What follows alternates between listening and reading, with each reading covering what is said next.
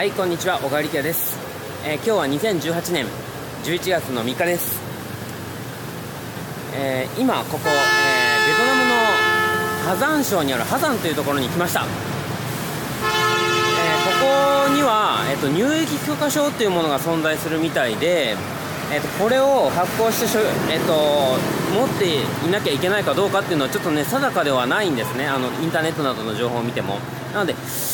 一応のことを考えて取りに来ました、えー、こちらが入域許可証です。はい。であの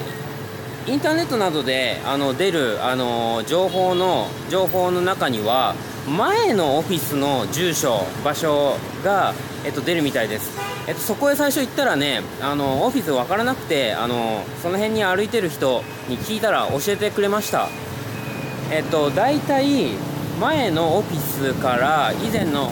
前のオフィスから、えーと、南に 400m くらいです。南に 400m くらいです。のところにある、えー、新しいオフィスの、えーと、イミグレーションセンイミグレーションオフィスです。はいということで、えー、これで安心して波山旅行できそうです。それではまた次の動画で。バイバイ。